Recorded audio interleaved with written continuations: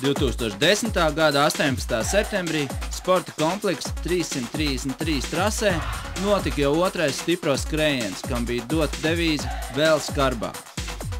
Vairāk kā 340 vīru, gandrīz 90 sievietes, kā arī 69 komandas starp daudziem pasākumiem šajās brīvdienās bija izvēlējušās stipro skrējienu.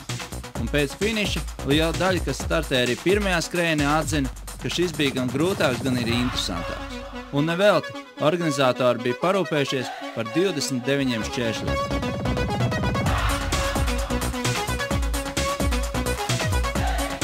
Stipro skrējienu organizē biedrība par stipru Latviju. Un, ir, šis ir otrais skrējiens. Šogad bija pirmais uh, aprīlī, ņemot vērā mūsu dalībnieku atsaucību, jo mēs pēc, pirmās, pēc pirmā pasākuma mēs izdarījām tādu anketēšanu. Ļoti daudz teica, ka tāds pasākums vajag vairāk, tad mēs tā kā nolēmām, nu, gan arī tādu nu, noriskējām uztaisīt arī otru šogad uzreiz. Jo idejiski bija tā, ka mēs gribējām taisīt vienu, uh, vienu gadā. Elponis pie elpoņa, roka pie rokas, un mēs visi noteikti tiksim galā, tiksim līdz finišam.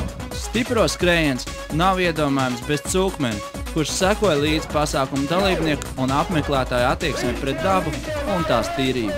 Kā jums pat doma nebūtu kaut ko mākslot un kaut ko tādu darīt, visiem ir jādod cūkmena zvērests. Un tās zvēres tam izķepjam labo rociņu šādi un izveidojam šķeltnacīti. Nemēslot stipro skrējienā! Vēram!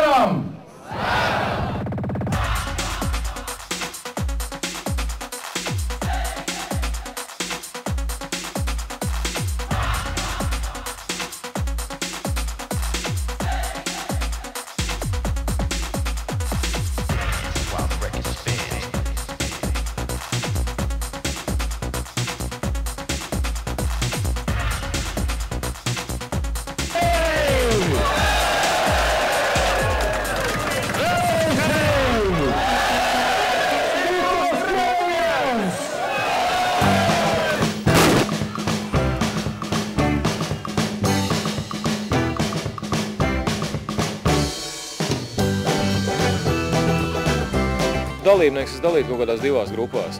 Pirmā grupa ir tie, kas nāk sacensties, un otra grupa ir tā, kas nāk uh, izbaudīt, jā, varbūt var tā to nosaukt. Uh, nu tā, varbūt tā proporcionāli tas dalās nu, kaut kur uz uh, viens pret trīs.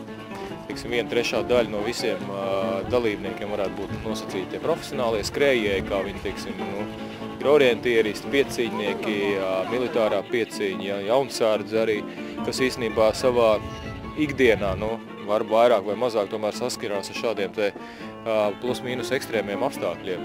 Savukārt, nu, tā, tās divas trešdaļas ir tie, nu, jāsaka, varbūt nosauksim parastie mirstīgie, kas īstenībā labākajā gadījumā brauc riteni, skrien krosiņu vai skrītuļo, ja, bet tas viss ir, nu, tādā, nu, salīdzinot ar šiem apstākļiem, tas tādā, nu, tādā, jāsaka, teiksim, tāds, tāds, tāds, tāds mājas apstākļi gan vīzē. Ja? Tad šeit mēs viņiem iedodam kaut ko ekstremālāku. Cilvēki ir gatavi, viņiem patīk un, kā redzat, pabākās. Ja? Mūsu komandas viena pie 70.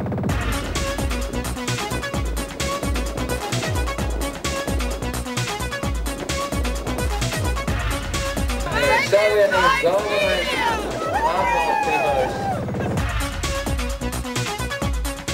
Starp uzvarētājiem aizvien vairāk militāristi.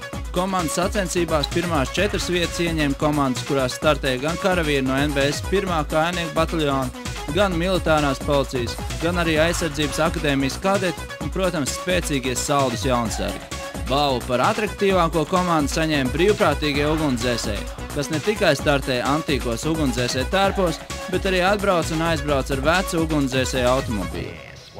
Kāds nāks, ka tu jau otro reizi pēc kārtas uzvari stipro skrējienā? Nu, pamēģināju pirmo reizi piedalīties, iepatikās.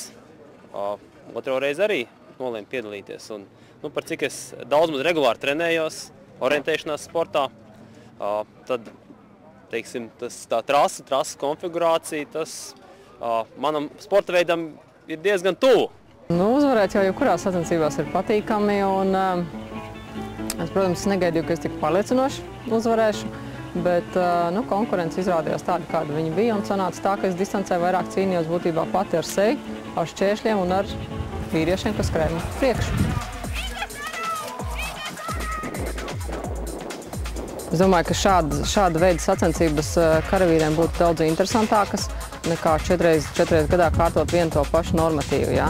Jo um, mēs varam pārbaudīt gan karavīra individuālo sagatavotības līmeni, gan arī teiksim, veicot šo pašu distanci komandas sastāvā.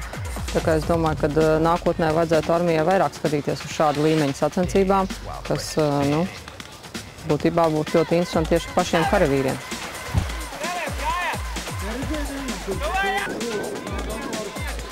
Tiem ir